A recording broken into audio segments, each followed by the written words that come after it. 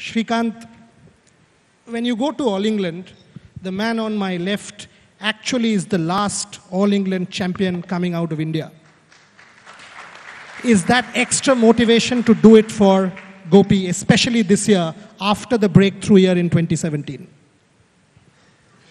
Well, yeah, like it's just not only about uh, All England, but uh, I know for every win I had in my life, for every, not just the tournament, for every match, every match I won throughout my career, you know, the whole credit goes to him.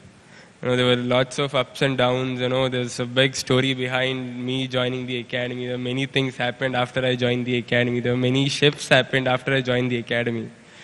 So a lot of the lot of credit goes to him for me. You know, of my winnings for sure. So and uh, today to actually like I even won my first China Open on his birthday.